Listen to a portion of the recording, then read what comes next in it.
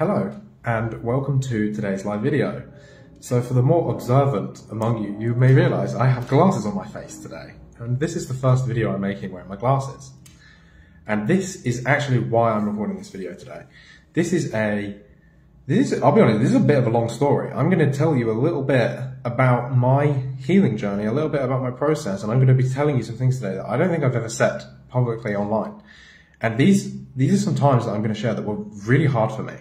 So I'm going to talk about the 18 months that I spent blinded and bedridden in the darkest part of my healing process.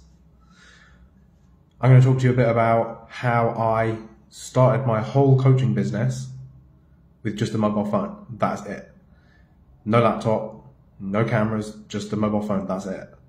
And how I moved from England to Portugal working just on a little, little, I still have it, a little mobile phone, Samsung Galaxy S7. I'm going to talk to you about how I worked on healing my eyes, how I became tolerant of different types of lights, uh, supermarket lights, computer screens, laptops, TV screens. I'm going to tell you about how I became able to finally tolerate these glasses.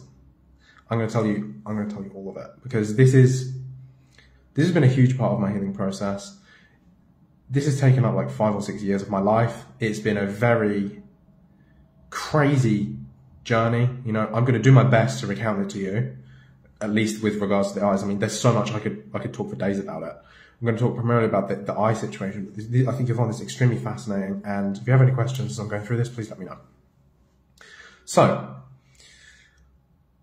let's do this. So, my my illness wasn't like a like a click my fingers and get sick. It was like this very I would say slow. I would say it's quite rapid. This quite rapid decline into poor health.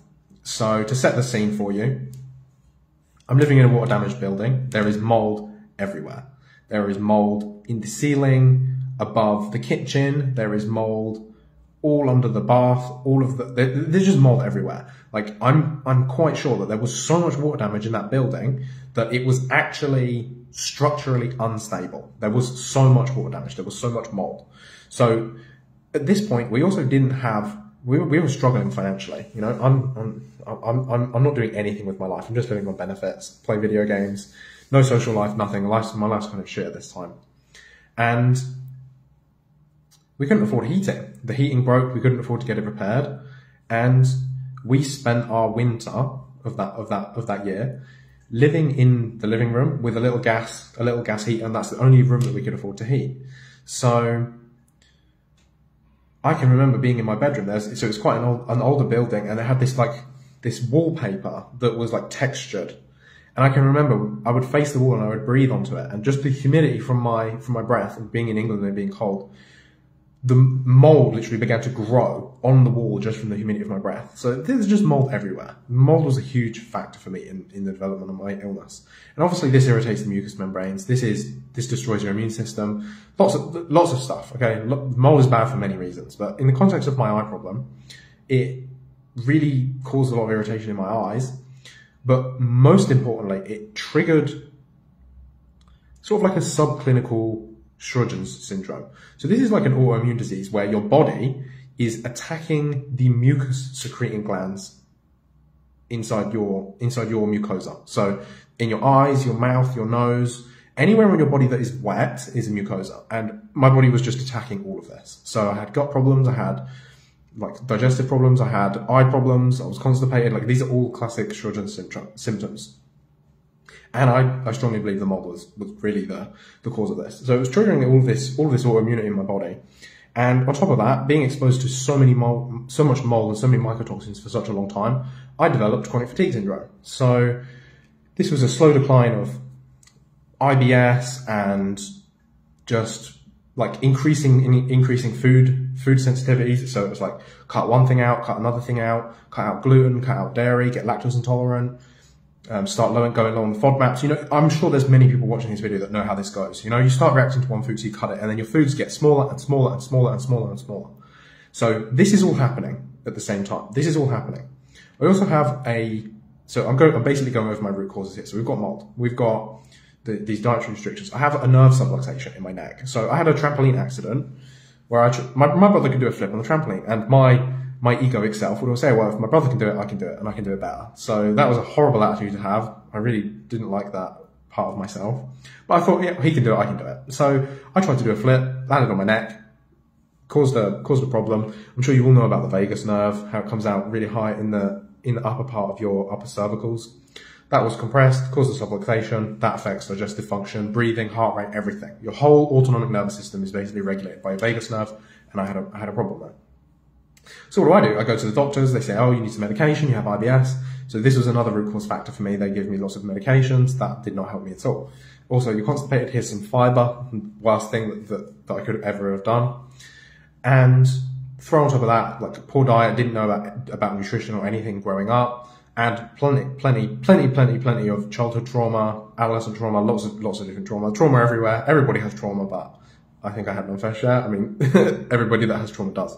So all of this, and I'm going on this slow decline. So the, for me, when I say I was, I was blinded, technically my ability to see was always present. I was always able to see.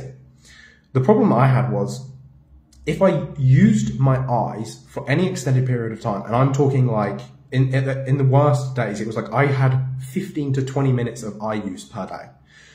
If I were to exceed that, I would have this horrendous headache. It would feel like the veins inside my eyes were bulging out of my head. And the way that I felt this was, it literally felt like, imagine that feeling when you have an eyelash in your eye. You know, imagine that feeling and imagine you have that all over your eye and there's nothing in your eye. That is what my existence was like if I used my eyes. It was extremely uncomfortable to the point where all I could do was just lay in bed with my eyes shut because it was so uncomfortable. I, I just, and the only thing that made that sensation go away was laying in my bed with my eyes closed for about three or four hours consecutively. So I just had to lay there and decompress. It turns out, from what I know now, this was, this was about, um, tension in the fascia from my, from my neck, coming around my eyes, my jaw. So I have ways to manage this, to handle this, to process this. It's way better than it's ever been. Again, I'm going to talk to you about this progression. But during these days, it's like, okay, so I have 30 minutes a day that I'm allowed to use my eyes. And I would use that as wisely as I could. So I would use that to get to and from the toilet. I would use that to eat, to put food into my mouth.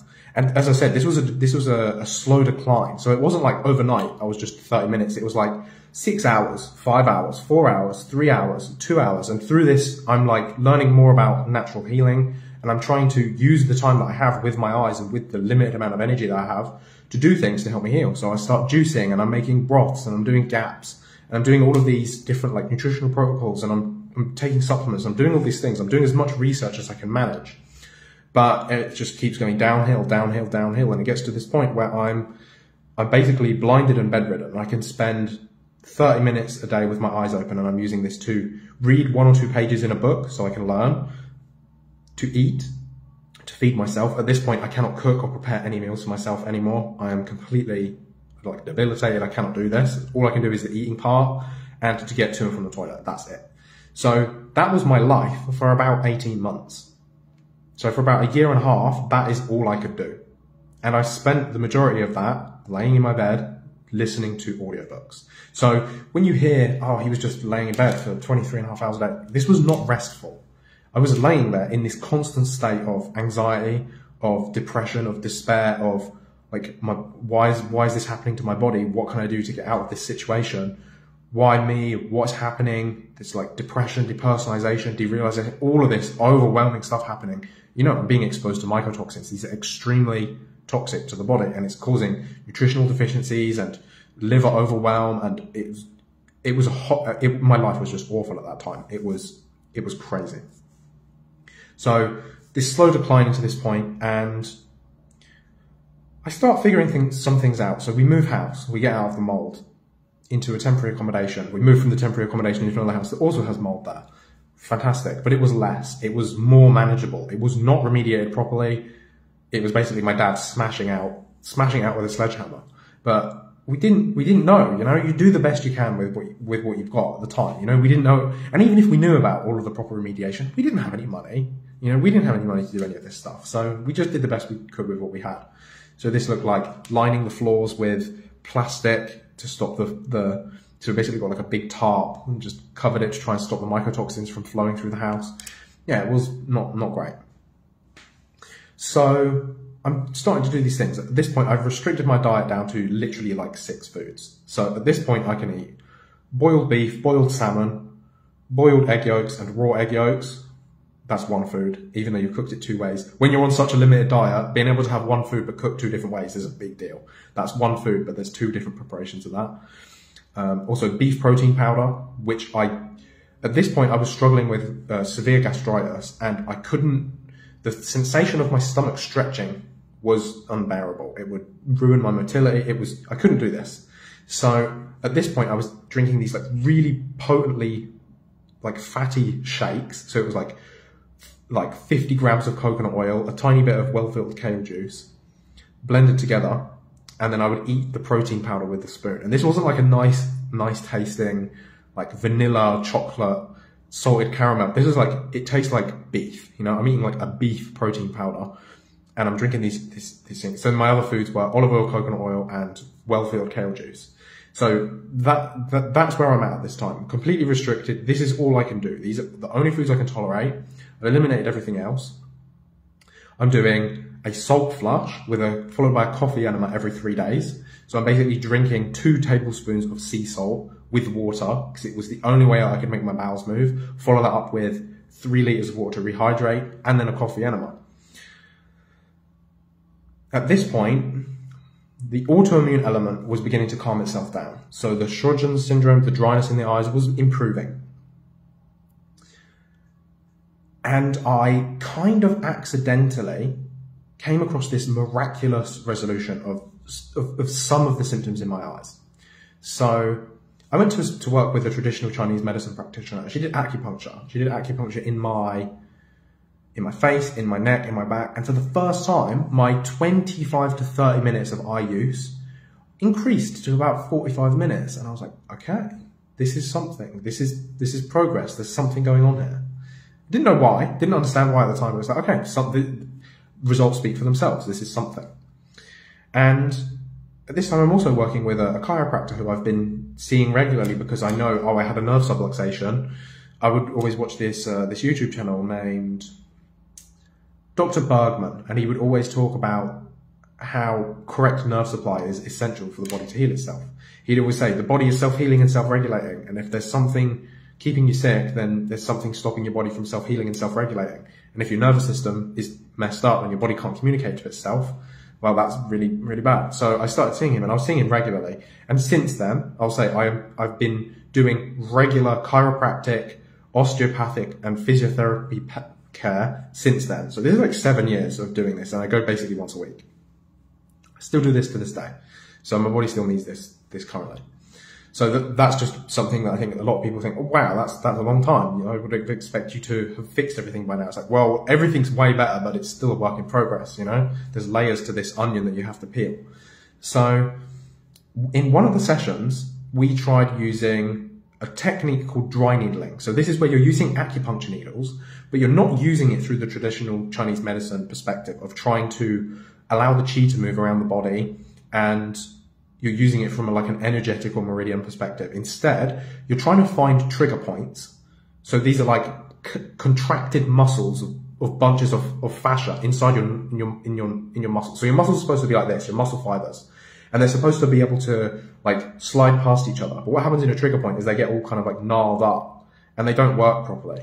And basically what it turns out happened is I had a, a massive trigger point in my suboccipital muscle, which is the muscle that, so if you, if you put your hands on the back of your head and, and feel down, you'll feel you go over like this bone ridge and then it gets a bit squidgy. That's your suboccipital muscle. And I had a trigger point. I had actually several trigger points here and in my, in my traps as well. And he used a dry needling technique and it released these trigger points. And after that, I was able to use my eyes for about two hours without developing these awful symptoms. And it was like, after that, it was like, like, it's like a new world, you know, if you go from literally, so try and imagine this, try and imagine you have been stuck in your bed, unable to do anything because you're in such discomfort, such pain, for 18 months, a year and a half. Can you even imagine what a year and a half of time is like? Now imagine that just stuck in your bed. And all you do all day is listen to audiobooks so you can escape into another world, or you listen to medical journals so you can try and figure out your health problem. Like that was my life, and that's all I did. And then to have two hours, it was like wow. And for the first time, I was like, I can go for a little walk. I can go outside. Like I'd move house, and I didn't even know what the house looked like because I just it wasn't at that time when you're in that kind of level of survival. It just was not important. I did not care. I had more important things to worry about. So I've moved house. I don't even know where I live. I don't even know what it looks like. If you, if I, if someone dropped me five minutes down the road, I would not have even been able to find my house because I'd never even seen it. And I lived in this really beautiful place. It was like there was this really nice nature path and a lake and I'd never seen it. And the next big breakthrough for me came through when, well, after this, after finding this with this, this needle in the, in the back of my neck, I was like, this is the game changer, you know? And it was expensive to go to the TCM practitioner and get the acupuncture. It was like 25 pounds a session, which I mean, to me now that's, that's not, that's not very much money. That's quite reasonable. But back then that was like a huge portion of what I had available. And I was thinking, well, she's just sticking needles in me. I can do that, you know? So I just, I was like, okay, whatever. I just bought a pack of needles on the internet and just started playing with them. I just started sticking them into myself and seeing what would happen. Because I thought, well, I can't afford to go and do this session, but I can buy a pack of needles for one fifth the price and I get 100 needles. So let's just try it. So I started doing them in my, in my face because obviously this was a, this was really where I was trying to look for improvements. And it was, it was, it was really helpful. I managed to maintain that two hours of eye use in a day, even without going to have this TCM practitioner, this acupuncture, or getting like these needles in my neck every single week. I still went for the chiropractic care and I still did have needles when I needed them, but I was also managing this at home and I was doing this every single day. So every single day before I go to bed, I would do these needles. And I was trying to figure out, okay, well, what are the limits here? You know, how, how can I use these needles to get the most benefit? So I started doing some research because obviously when you're poking needles into your face, you're thinking, okay, what if I do some serious damage? You know, what if I poke this into my brain? What if I destroyed my nerves that come out the back of my eye? You know, it's like you're sticking needles in your face. You have to be careful. You have to know what you're doing. So I was doing some research and I looked and found sort of like a, an, an anatomy map of the, of the, of the human skull. And I saw that there's basically like, there's no way you can poke your brain unless you literally go straight through your eyes. Your brain's pretty safe, you know, you've got this big protective skull around it. So I was like, okay, let's try it. And I tried sticking the needles in this part of my head here. And instead of just, just, just tapping it in, I stuck it in about an inch because I saw there were these big muscles here. So I stuck it in about an inch on each side. And that is what changed everything for me. After that point, I was able to fairly reliably use my eyes as much as I needed to in a day without problems. As long as I did it, the acupuncture every single day. So for about, I'd say that this, this period of my, time, of my life was probably about two years. So for about two years, I did acupuncture, maybe even longer actually, maybe more like three years. I did acupuncture in my face every single day without fail. And if I failed, all of those symptoms came back. The stabbing sensation in the eyes, the, headaches, everything just came back. So I was doing this almost without fail every single day. And it kept the symptoms at bay. And I was like, cool, this is awesome. And yes, like, because obviously I'm not, I'm not an acupuncturist, so I would get bruises on my face and it wouldn't look very professional and I would look a bit of a mess. And I actually, it's actually very funny. Um, in my passport photo, you can see I, I have a big bruise on my face just here because well, I've been using the acupuncture needles and it went wrong. And sometimes it bruises, you know, that's, that's what happens sometimes, especially if you're doing it every single day, you know, it's going to happen occasionally. So my passport photo, I look like an absolute criminal, you know, hair is a mess, super scruffy, really thin and gaunt, look like a drug addict. I've got bruises all over my face. It's quite funny. It's quite funny, huh? so this, this really started to change everything. And at this point, I was like, okay, let's see where the new rules are. Let's see where my new limit is. So I got a mobile phone because at this point, I'd basically been using a small, I think they were called a HTC, su such an ancient phone, you know, like one of the most, the first generation touchscreens. And all I basically used it to was, used it for was to listen to audiobooks. So my dad would download them onto an SD card and stick them on the phone and I'd listen to like Game of Thrones or I listened to so much different stuff.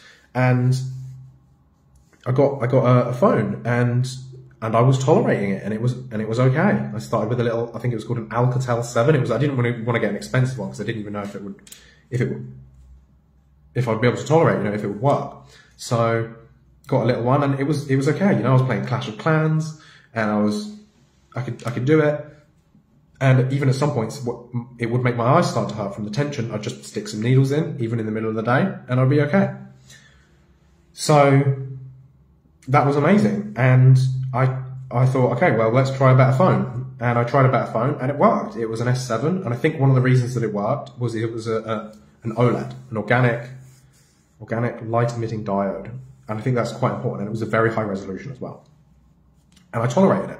But I tried lots of other phones. They didn't work. I tried TV screen or a, computer a computer monitor. I could not tolerate them. They would trigger like horrible headaches, reactions, really nasty stuff in my eyes. Just couldn't tolerate it. Even going into supermarkets, the fluorescent lighting and stuff like that, I couldn't tolerate it. So I, I was really happy, you know, I could play again, you know, so I used to play all my little games on my phone and instead of having to just lay in bed with my eyes closed, it's like, yeah, I still had chronic fatigue. I still didn't have very much energy, but I could play, I could play mobile games. You know, this was a huge improvement in my quality of life. As stressful as my life was before, I didn't really have a coping mechanism and now I did so I could handle it a little bit better. Also, this opened my ability to research and to educate myself. I could find my own YouTube videos. I could do, I could do things again. You know, I had so much more independence and so much more ability to learn and educate myself. So I start doing this, you know, I'm educating myself more, I'm learning. And it gets to the point where I've really started healing so much. You know, things are starting to change. My chronic fatigue is getting better yeah, I still don't have like heaps and heaps of it, but I'm not bedridden anymore. I can go out for two walks in a day. And I'm like, I have to share this, you know? I have just been through a year and a half of an absolute nightmare. And I asked anybody that I could for help and nobody could help me. And now I have something that I, I've had results and it's been through doing this gut stuff and this acupuncture stuff and all of these different things. And I'm like, I have to share this. So that's when I started working. And this initially started with me writing a little book. I still have it. It's called Bite Me, the controversial weight loss uh, manual. I still have that book. It's my first thing I ever wrote. Wrote it out on paper again because the screens were still a bit hard for me. So I wrote it out on paper. My dad transcribed it for me into text in the computer. First thing I ever made. And then my first brand was born. That's Health Potion. Maybe if you've been following me for a really long time, you still remember when I was doing the Health Potion brand. And we started like the Health Potion Academy and we did, we did loads of stuff in, under that brand. And that's where all of that really started. And I started doing videos and it was just recording. So it, I've basically gone back to my roots. It was basically me sitting in front of a camera and just recording and talking about like random stuff. And what are we doing today? Just here sitting in front of my phone on my, in my camera, just uh, talking about random stuff. And yeah, that, that grew into a business. I started helping people and people were like, wow, your videos are really good. Can you help me fix this problem? Yeah, sure. I can do that. I can help you with that. I can help you figure that problem out. Oh, I know about this. And I helped people solve problems that I hadn't even solved myself yet. You know, I helped people heal histamine intolerance when I still had histamine intolerance. I helped people heal several food sensitivities when I still had food sensitivities. You know, I, I help people with a lot of things that I hadn't even figured out for my, how, I figured them out, but knowing how to do something and then allowing your body the time that it needs to do the thing, they're two different things, you know? So I knew it, I knew how to do it in my head, but I, my body needed time to catch up and there were people that weren't as sick as me that could, could could heal faster. So it was quite ironic to be helping people when I'm still sicker than they are. But yeah, that's where I was. Like when you work with somebody, do you want somebody that has been less sick than you or more sick than you? You want someone that's been more sick than you because they know what it's like to be in a really bad place and they must get it on a deeper level. If they got out of it, they're going to be able to help you. So, so yeah, started the brand, started using my, my phone. Since then, I tried like several phone upgrades, could never tolerate it. I had tried glasses in the past and it would always cause me like massive headaches and I could, I could never do it. And it was like, okay, well, this just isn't the time. Don't know what the answer to this is, but let's see what it is.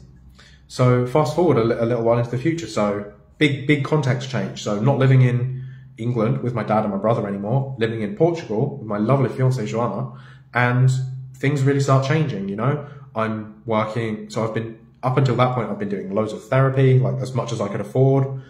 And now I moved over here, I'm doing more therapy of different types and working on the deeper levels of healing, which I see as being the, so you've got like the physical level, which is like structural, which is food sensitivities, which is gut flora. But then you've got like the mindset. And when I say mindset, I don't just mean think positive. It's bullshit. fuck whoever says think positive. You have no idea what you're talking about with healing. It's so much more complicated than that. It's so much more nuanced than that. Yes, you have to be positive, but not in a repressive way. It has to be genuine positivity. So it's working on that. It's working on that emotional layer, doing different types of things, figuring out where I fit into the world. Who am I? Uh, what do I have to offer? How do I fit into my family? What does this family dynamic mean? How does this family dynamic connect to my dynamic that I have with food, with my body, with all of these different things?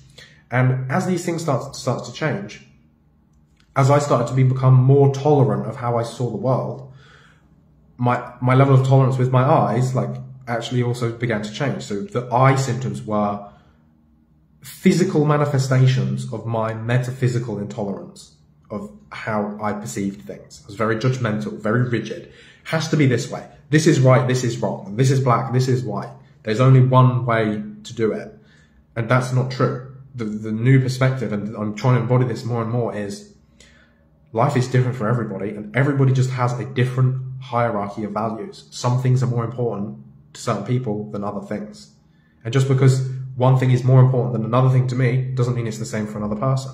And being able to see the world through this lens, instead of I'm right, you're wrong, it's okay, you value different things than I do, that changed everything. And as I've been doing this, I started to be able to tolerate different things. So I was able to upgrade my phone into a, I went to a Huawei uh, P20 and I was like, cool, I can, I changed my phone now. That's amazing.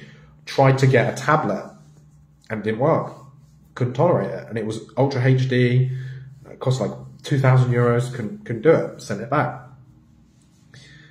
And didn't stress about it too much. Just thought, okay, it's not the right time. And then one day it came around. It was like, okay, it would be really cool if, so my business is growing. It's huge now. I can't, you can't just do this on my phone anymore. It's just not realistic. I want to do email marketing. Like if you've ever tried to run a business purely on a phone, like it, it's something that if you've never actually tried to do, you can never imagine how hard it is. There's so many technical things that you need to do that doing on a phone is just, it's, it's, it's possible. It's just a, it's a nightmare. It's horrible. You know, the resolution and copy and paste and swap tabs, you know, it, it's just, it's so hard. So I was like, I really could do with a laptop. So I got a laptop. I didn't, I was like, maybe I'm not going to react, I'm not going to tolerate it very well. Maybe I'll react to it. So I'm going to just get quite a cheap one, you know? So I just got like a six or 700 euro laptop. And I was like, I'm just going to use it for a small amount of time. I'll just use it for 30 minutes just to do my email marketing and that's all. So if you ever receive uh, emails from me, well, now you know how. It's from a, from a, from a laptop now, not from my phone. So I, I said, I do the emails, I do all that stuff. And it slowly was like, okay, I tolerate this. It, initially, it made my eyes a bit annoyed, but it was like, okay, my eyes kind of adapted a little bit. It was like, okay. And now I can do, before it was used to just be a little bit of work on that. Now I can do loads of work. I can take calls on there if I want. I can play video games. I can do, I can do it. I can use a laptop like a normal person. And it was like, wow, okay, this is amazing. And then go about five or six months forward from that. And I was like, I think I should try some glasses. I really think now is the right time and I could I could really see that although I wasn't conscious of it at the time, I didn't want to rely on other things. I didn't want to receive the love of other things. I didn't want other things to take care of me. And that's exactly what glasses do, if you think about it. You know, I don't have to strain so hard to see. They, they love me. They're giving me love. I can perceive the world in a different way.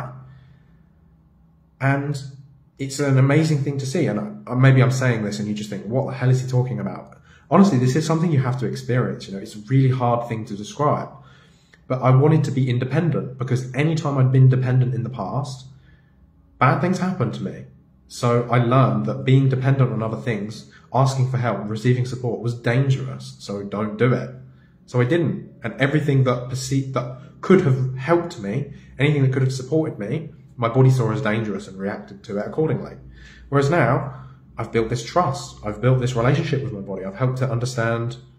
I've helped it understand and it has helped me understand where we have differences in communications. It's helped me understand what my hierarchy of values is and how other people's value systems are different and that's okay. That doesn't mean mine's better than theirs. It's just a different way of doing it. And I tried the glasses and I tolerate them.